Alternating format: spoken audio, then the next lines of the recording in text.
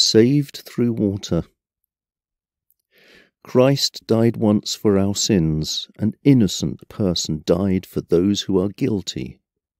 Christ did this to bring you to God when his body was put to death and his spirit was made alive.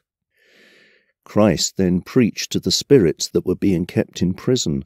They had disobeyed God while Noah was building the boat.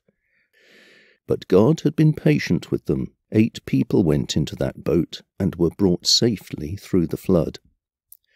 Those flood waters were like baptism that now saves you. But baptism is more than just washing your body. It means turning to God with a clear conscience because Jesus Christ was raised from death.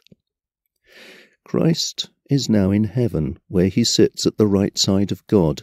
All angels, authorities, and powers are under his control.